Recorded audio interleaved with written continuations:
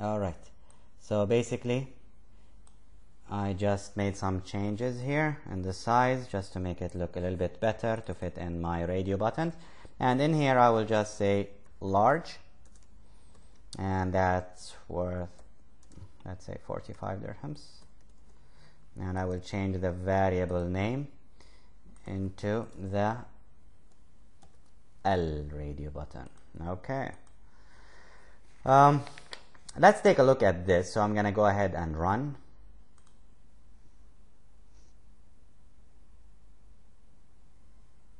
Okay I have my application and I have my radio buttons. But of course I have a problem.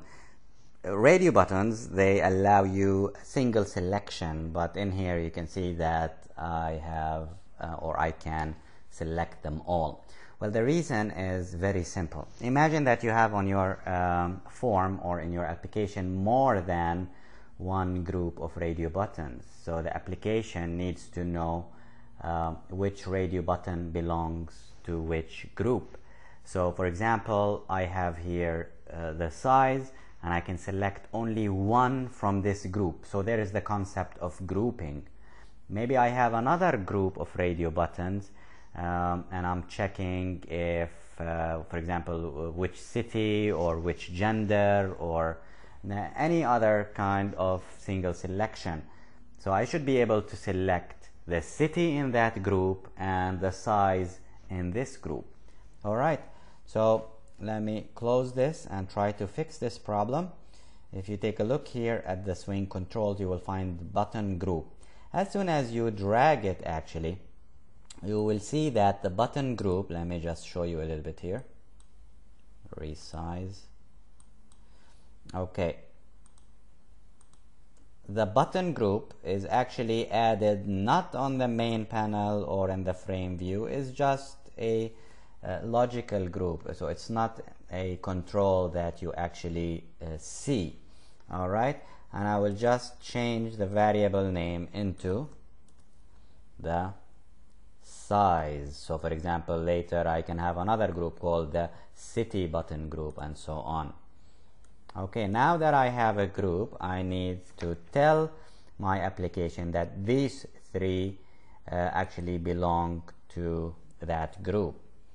Okay and to do that I will select those two and I will say properties and I will choose the button group here to be the size button group. Okay? Since I've already added it it's available. The reason I didn't choose the third one is simply to show you something. Okay? Small medium. As soon as I check one the other one gets unselected. Now take a look at the third one. No problem. It's a different group.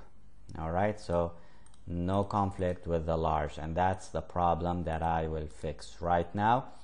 Again I can do it from here or I can do it from these properties right here. All right so this now is fixed. Take a look at it. Okay another thing I will do because I am business and businesses usually like to make money the initial selection would be the most expensive of course. So I will check this and tell my application that this should be selected. Take a look at the properties. There's a property called selected. I will go ahead and check it. By default it's false. And right now it's true. Okay? So what happens when I start the application? This is selected. All right? And I can I can select any other size then. Okay. Right now I will go to the toppings uh, tab and I will go ahead and add my what checkboxes. Okay. The first checkbox I will say olives and the price is only 3 dirhams for this topping. And I will add another one and I will call it pepper and the price is a little bit cheaper for pepper. 2 dirhams. And change the variable name. This is the pepper checkbox. And this is the olives checkbox. And I need two more. So what I will do add two more. Okay. This is a good place for it. Uh, yep. Okay. This one let's say mushroom. And it's four dirhams and rename it the mushrooms checkbox. And finally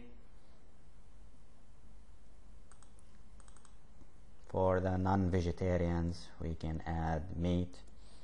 And this is of course a little bit expensive as you notice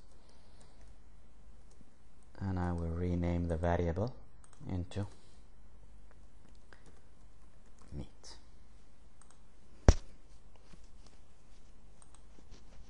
okay. Uh, everything looks good. Maybe I can just uh, make some changes here.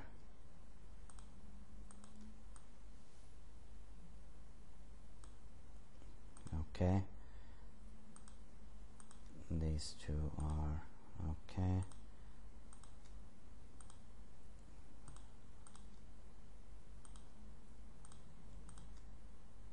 Okay just to make sure that they look nice uh, aligned.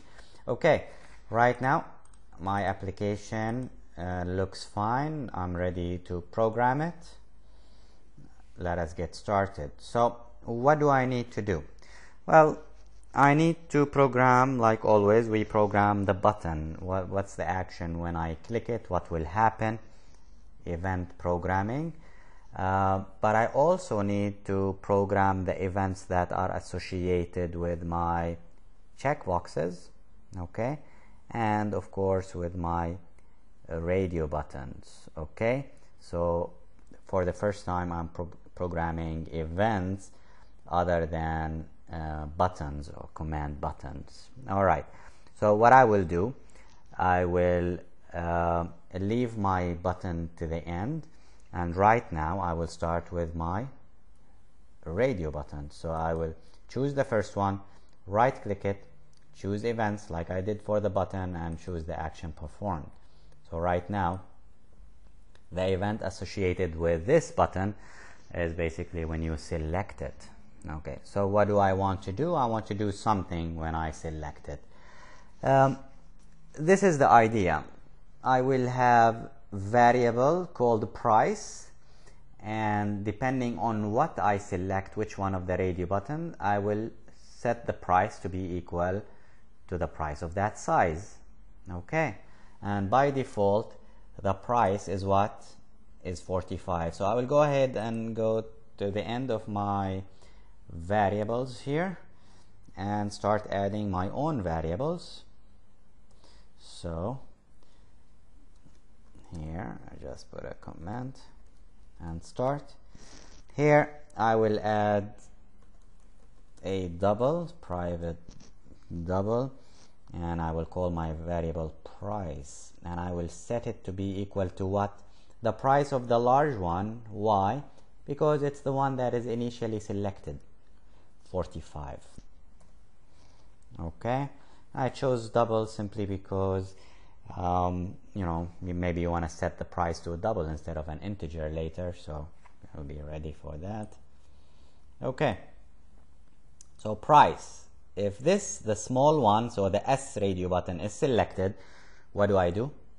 Price is not 45 anymore but it's equal to 20 okay